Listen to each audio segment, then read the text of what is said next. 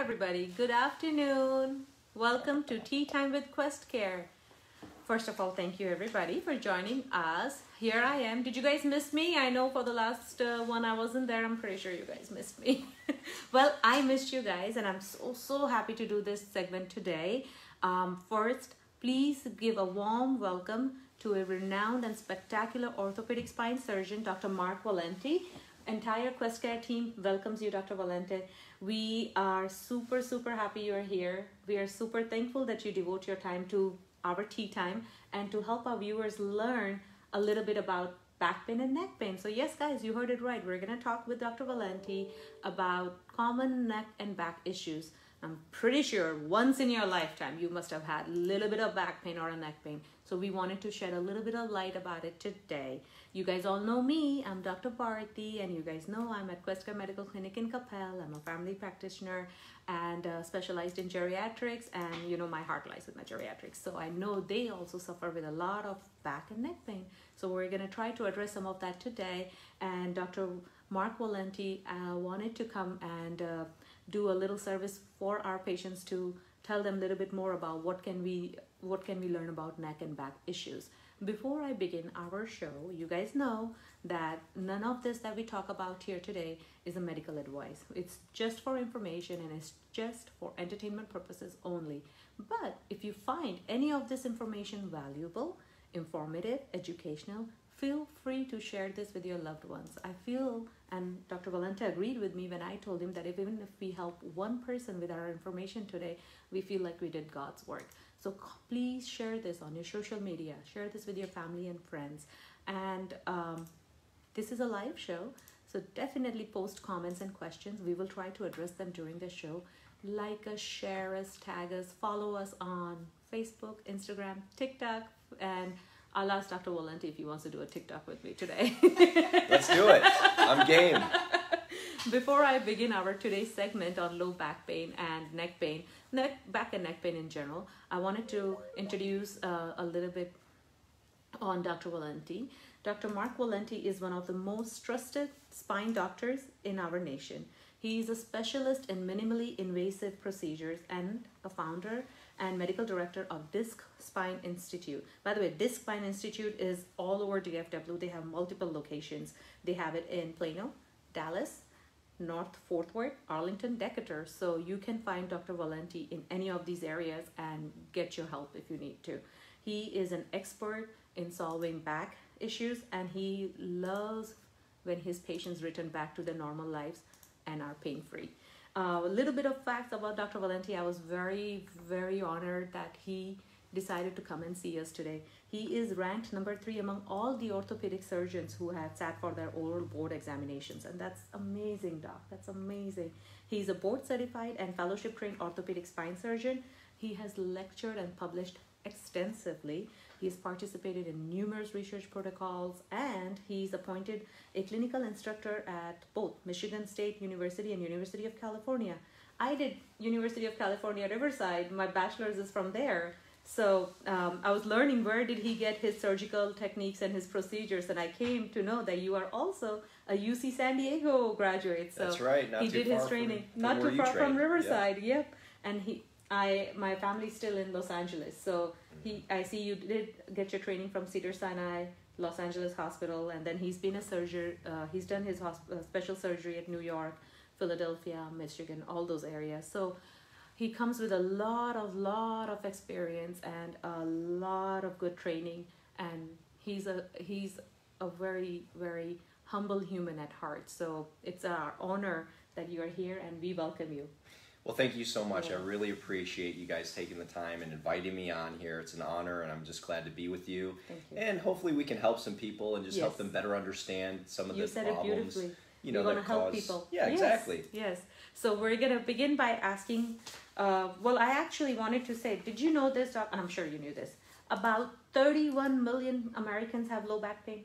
Yeah, it's actually the number two reason why somebody will go visit their primary care physician, low back pain, after the common cold. after the common cold, and then it's the number third reason for disability and people being off of work. That's right. asking for unable to go to work. So I found this fun fact and I wanted to bring it to you guys why we wanted to talk about it. And we see this as a family practitioner, I see this, and I know you also have come across this that work is affected, family life is affected, social life is affected, athletic life is affected, and then all this when they get affected, what happens? Psychiatric life gets affected, which is why low back pain, and we just say it's back pain, it's neck pain, but they do tend to have a big impact on a human's life. So we're gonna talk about it. I wanted to ask you, Doc, uh, what are some common causes for back issues, neck issues?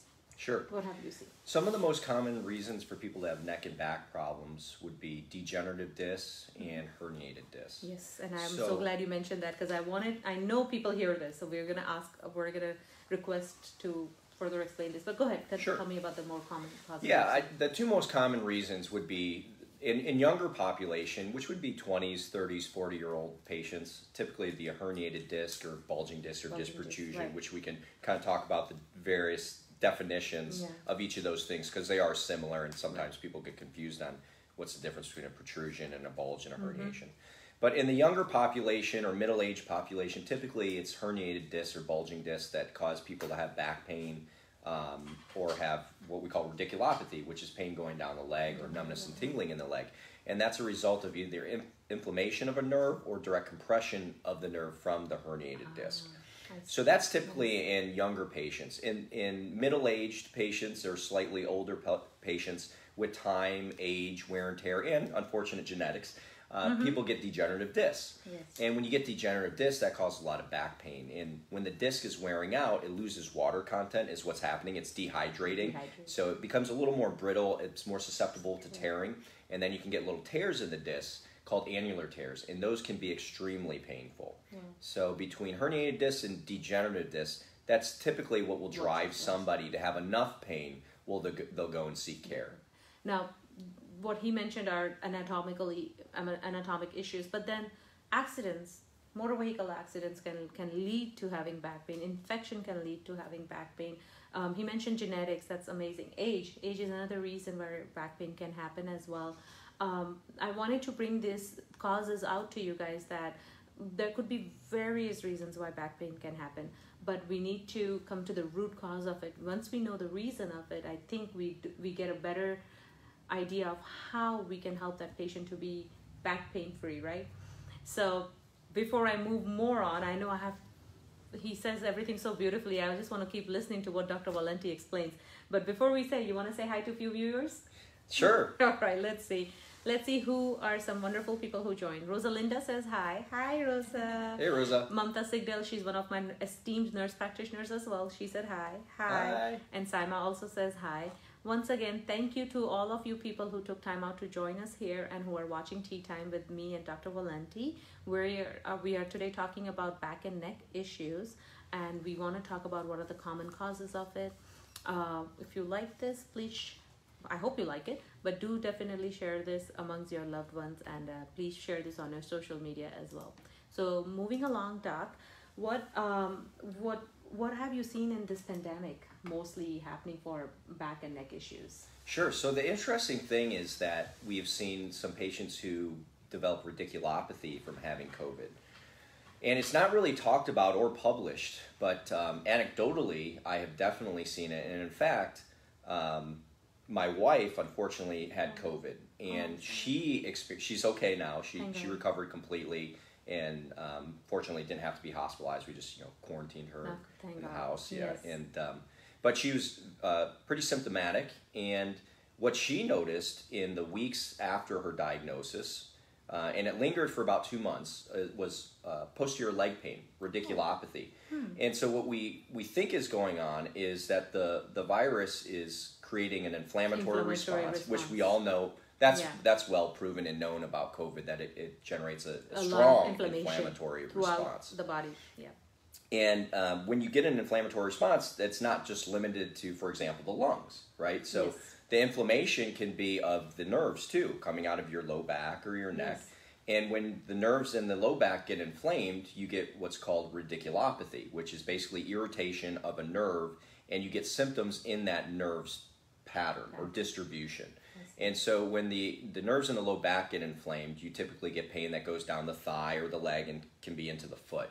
uh, or the numbness and tingling. And so that's what she experienced for a couple months Wow. from COVID. Wow. So this is this is I I actually also did not know that radiculopathy in post-COVID patients has been seen. And you're right, there is not much data out Mm-hmm. there.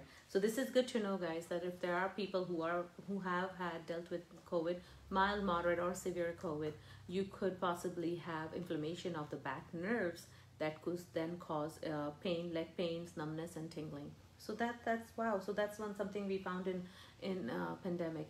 One thing um, we hear so much about we we actually end up diagnosis our patients when we get a neck pain and a back pain. We learn about spondylolysis. Can you tell our viewers about spondylolysis?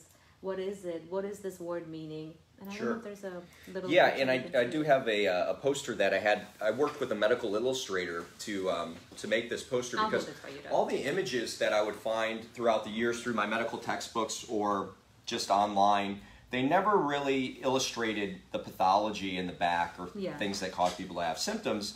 Really, the way that I thought would help illustrate it to patients so To they could patients, easily understand. understand it. So, Absolutely. so I worked for a couple months with a medical illustrator, going back and forth Yeah. and getting them to draw exactly what I wanted. You know. Yes, I was learning that about you. So these Yeah. are actually illustrations done and visioned by Dr. Valente, and now they're been in this form so that patients can understand back and neck issue beautifully. So uh, please, doc, please tell me spondylolysis when we tell Sure. this patients to our patients. What what is it? What Right. So, you know, medical terminology, it's like a foreign language, right? It's like when we Yes. were first year medical students. You know, I sat there with my medical Yeah. text in a, in a medical dictionary and had to look up every word. So, spondylolysis, what does that mean? Spondy means spine. Okay. Lysis means split or fracture. So, really, what it is is this fracture in the spine.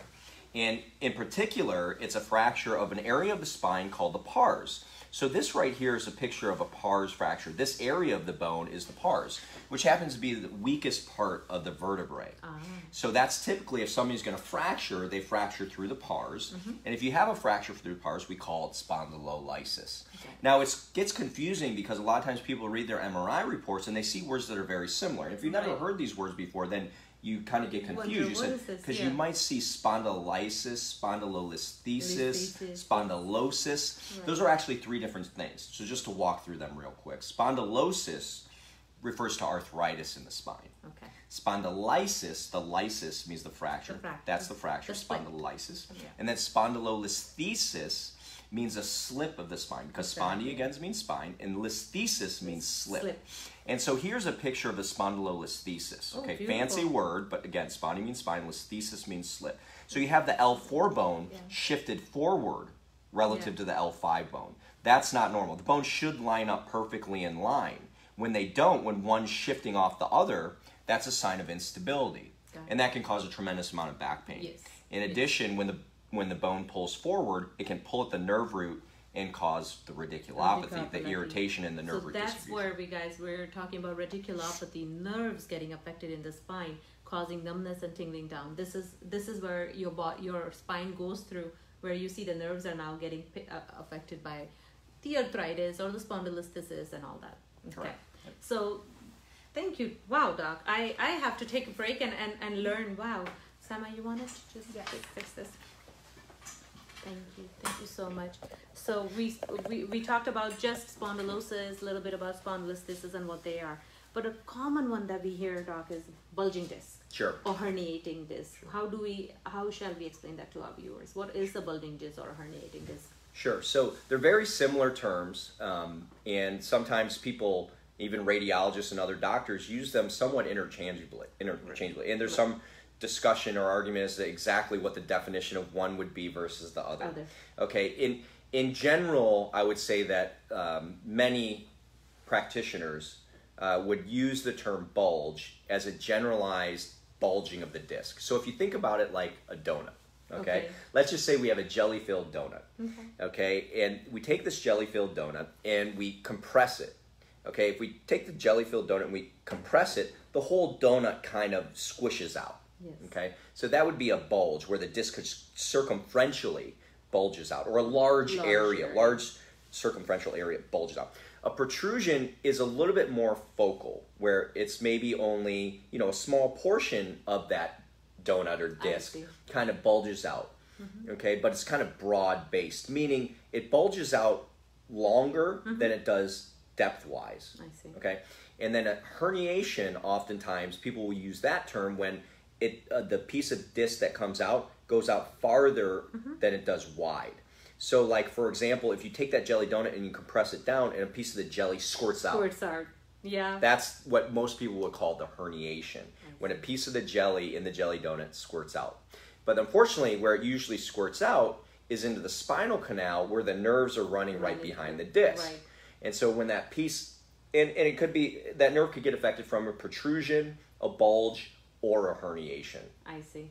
So that's why herniating disc. So what what's a disc? Why where is the disc? We have our bones sitting on top of each other, right, Doc?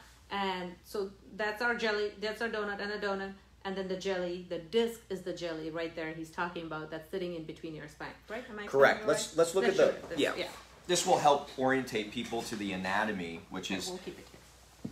really important to understand. So, okay, so this is these are the bones. There's five bones in the low back. Okay, mm-hmm. so we number them. We call the low back the lumbar spine. So L is for lumbar. We have five bones in the low back. L1, we call them L1, L2, L3, L4, and L5.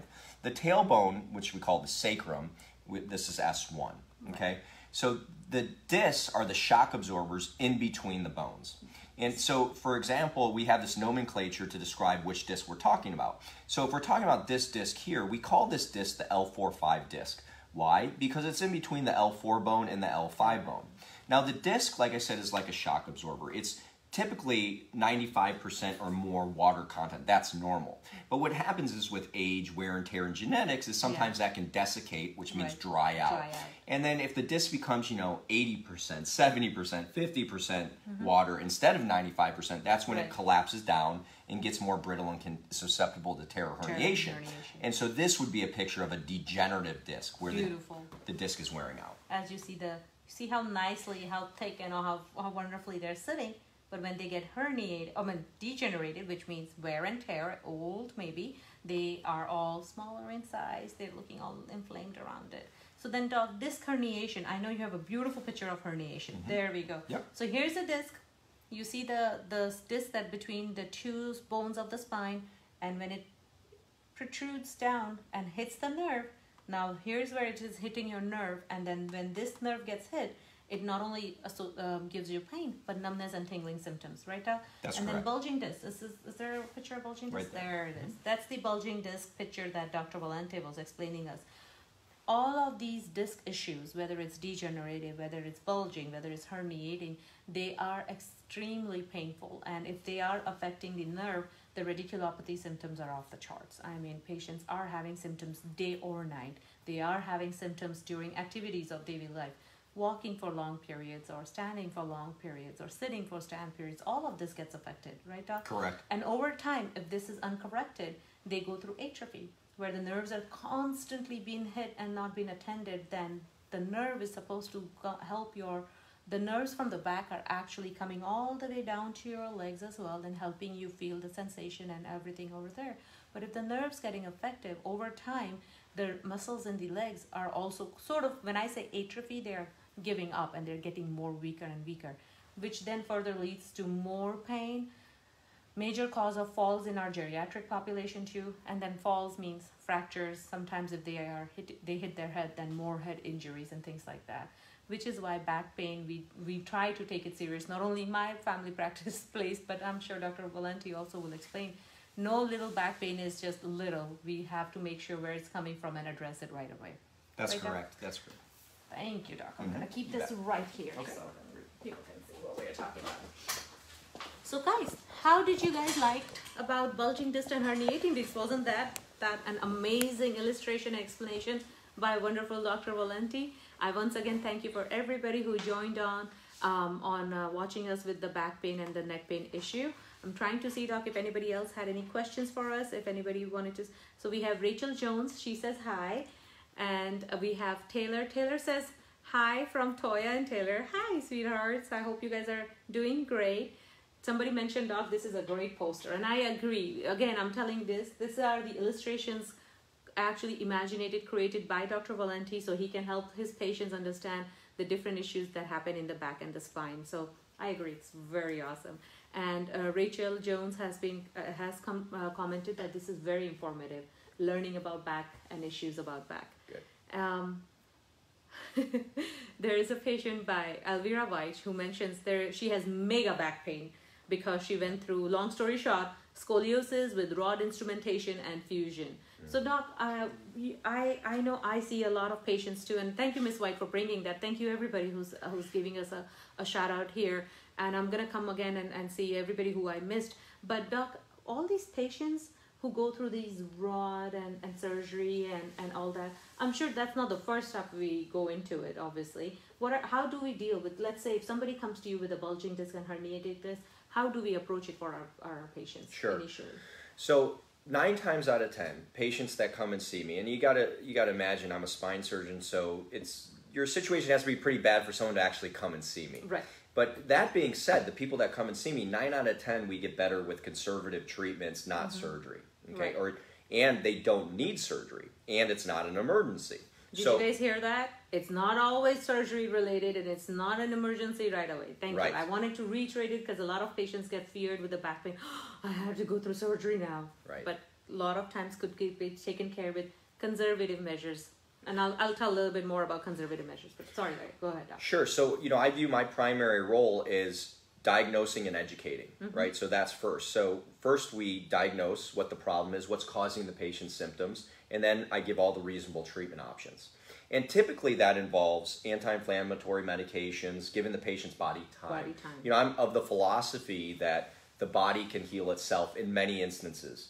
And if we just give it time, the natural process in the human body will help heal, heal the situation, and the patient's pain or symptoms will be alleviated. Thank you so much for saying that because that's something I tell my patients all the time, guys. It's not Amazon Prime. Give it more than two days. Right. Body will heal. Body will recovery, and and give it time to to recuperate. Right. So Here, here's another interesting statistic 95% of people who have an acute episode of back pain, severe enough where they mm-hmm. actually seek care from a provider, from a doctor a PA nurse practitioner, 95% of mm-hmm. people who end up seeking care for their back pain will be symptom free in four weeks. wow. So that's another thing for everybody, I think, to keep in mind. You know that if you have an acute episode of back pain, there's a 95% chance that in four weeks you'll be totally fine.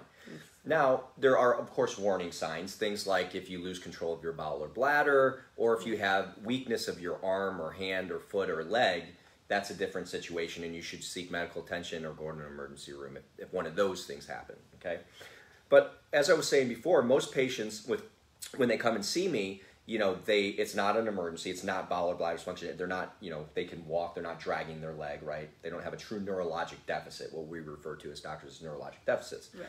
But with pain, numbness, tingling, things like that, typically we can get them better with time, anti-inflammatory medications, physical therapy, chiropractic care, home exercises to strengthen the core Strength into the core. Right. traction, decompression, injections if they fail that stuff, and that's nine out of ten patients. Now, when those when people don't get better enough with those treatments, and their quality of life is affected enough where they're starting to take pain medications chronically, they're missing work, they can't enjoy their life. They can't play with their kids, they can't pick them up, they can't go play tennis or golf or walk around the grocery Yeah. store.